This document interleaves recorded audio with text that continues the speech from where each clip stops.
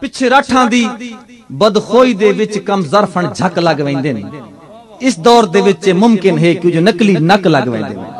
ਔਰ ਰੰਗ ਰੂਪ ਦੇ ਯਾਰ ਭਲੇਖੇ ਵੀ ਜੱਟ ਕਾਣ ਬੇਸ਼ੱਕ ਲੱਗ ਵੈਂਦੇ ਨੇ। ਪਿੜ ਲੱਗਣ ਤਰਾਜ਼ ਅਸੀਂ ਦੇ ਹਿੱਕੇ ਮਿੰਟ ਚ ਪੱਕ ਲੱਗ ਵੈਂਦੇ ਨੇ।